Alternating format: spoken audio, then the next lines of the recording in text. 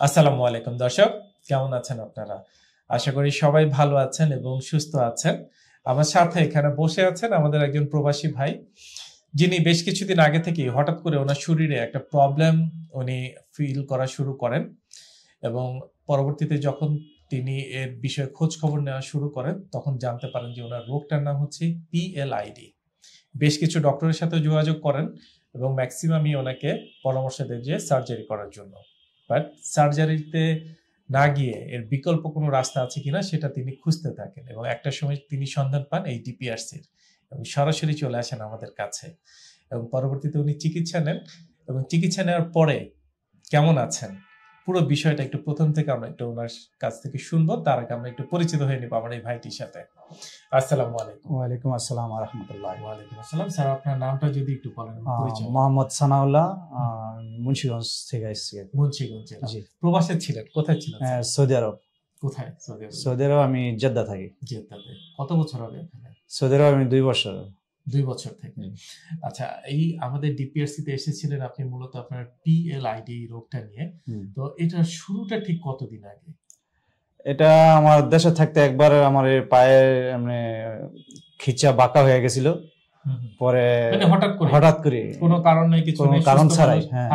শুয়ে রয়েছি বেডে হ্যাঁ। বেডে শুয়ে আসে বসে বসে আমার ওয়াইফের সাথে কথা বলতেছি। ওই টাইমে হঠাৎ করে আমার পা বাঁকা হয়ে আসতেছে বাম পাটা আচ্ছা। পরে একটু ডইলা মিলা ঠিক করল এসে পরে আমি আমার সদরেই আমি ডাক্তার দেখাই।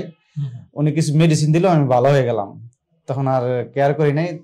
আমি পরে ভর্তিতে আমি বিদেশ চলে যাই আর কি সৌদি আরব। যাওয়ার পর ওই জায়গায় বালি দিনকাল কাটছিল হঠাৎ করে একবার এরকম হয়েছিল এমনই ডাক্তার দেখাইছি ওনারা এক্স রে করছে। একজন বলতেছে তোমার ডিক্স সরে গেছে। মানে আপনি প্রবলেম কি ফেস করতে প্রবলেম কি করছে আমার এই মাজার এই সাইড এই আমরা আঞ্চলিক ভাষায় এটা গাদি বলি আর কি। হ্যাঁ হ্যাঁ হ্যাঁ। এই মাংস থেকে পায়ের একদম নিচ পর্যন্ত আর কি রক হাঁটতে গেলে টান খায় আমার। আচ্ছা। হ্যাঁ, তো বেশিক্ষণ হাঁটতে পারি না তখন বসে পড়া লাগে আমার। আচ্ছা বসে পড়া লাগে? সময় দাঁড়িয়েও থাকতে পারতেন না। না, বেশিক্ষণ দাঁড়ায় থাকতে পারি না। দীর্ঘ সময় একদম বসেও বসে থাকতে পারি না দাঁড়ায় থাকতে পারি না। আমি এইভাবেই আমার দিনকাল যাচ্ছিল। কাজের সুবাদে আমাদেরকে দেখা যায় অনেক সময় দাঁড়িয়ে কাজ করতে হয় ভারী হ্যাঁ। কাজ করতে হয় বসে কাজ করতে বিভিন্ন। স্টাইলে কাজ করতে তো সেই জিনিসগুলো আপনার জন্য একটু কষ্টসাধ্য হয়ে কষ্টসাধ্য হতে হ্যাঁ। আচ্ছা। পরে আমি ওই দেশে ভালো ডাক্তার দেখাই অর্থোপেডিক ডাক্তার দেখাই অর্থোপেডিক ডাক্তার দেখার পরে সে বলল তুমি এমআর করে নিয়ে আসো। কিন্তু ওই জায়গায় ইন্স্যুরেন্সের সমস্যার কারণে আমি এমআর করতে পারিনি। পরে এক্সরে মেক্সরে করে কয় তুমি নিউরোলজি ডাক্তার দেখাও একবার। আমার তখন একবার এই হঠাৎ করে দুপুরে আমার এই ব্যথাটা ওঠে ওঠা নিচের পায়ের তালুগুলা আর এই আঙ্গুলগুলা ঠান্ডা হয়ে শক্ত এই পর্যন্ত আপনার আমার অবশ হয়ে জায়গা আচ্ছা। অবশ হয়ে যাওয়ার পরে সে সাডেনলি আমি ডাক্তার কাছে যাই যাওয়ার পরে কিছু মেডিসিন দেয় স্বাভাবিক হই আর কি কিন্তু চলাফেরায় কষ্ট। পরে তারা এমআর চায় এমআর তো আমি দিতে পারতেছি না। পরে সে ইমার্জেন্সি দেশে আসি দেশে আইসা আমি নারায়ণগঞ্জ পপুলারে এমআর করাই।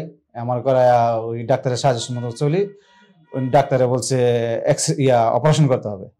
তো অপারেশন আমি বলছি আমি এই বয়সে অপারেশন করব না। আমি একটু দেখতে চাই। মানে কিছুটা মেডিসিনের মাধ্যমে গেলেন হ্যাঁ মেডিসিনের মাধ্যমে আমি একটু ট্রিটমেন্ট নিতে চাই। তখন উনি আবার বলল তো তুমি এক মাস থেরাপি নাও থেরাপি নিয়ে আর এই ওষুধগুলি খাইতে দাও পরে এক মাস পরে আমার সাথে দেখা করো। তখন আমি মুন্সিগঞ্জে থেরাপি নেই। থেরাপি নেওয়ার পরে ওষুধ খাইতেছি।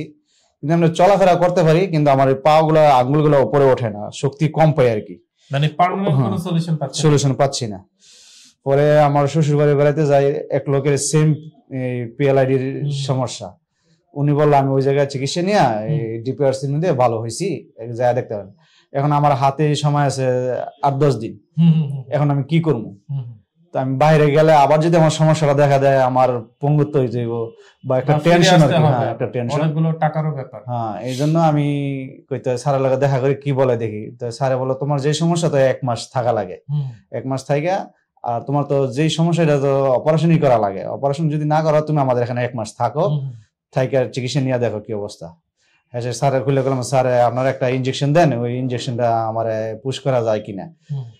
হ্যাঁ আপনার চাইলে দিতে পারি। আমি আমার ওই ইনজেকশনটা দিয়ে দেন। আমি আপাতত ইনজেকশনটা নিয়ে আমি বাইরে যাই। দেখি যদি আমার কোনো সমস্যা অনুভূতি হয় আমি আবার ফিরা একটু লং সিটি নিয়ে আসা হুম। আমি পূর্ণাঙ্গ হ্যাঁ ট্রিটমেন্ট পূর্ণাঙ্গ ট্রিটমেন্টটা নিব। তো সেই অনুযায়ী ভর্তি হয়ে গেছে। হ্যাঁ সেই অনুযায়ী ওই দিনে আমি কোনো প্রিপারেশন নিয়ে আসি নাই। ওই অবস্থায় আমি এই ভর্তি হয়ে গেলাম। ভর্তি হয়ে গেলে বাড়িতে খবর দিলাম তারা আসলো। এই আপনার এই পাঁচ দিন থাকলাম আর কি এই জায়গায়। তো এই পাঁচ দিনে হ্যাঁ, পাঁচ দিনে রেজাল্টটা আল্লাহ ইনশাল্লাহ ভালো।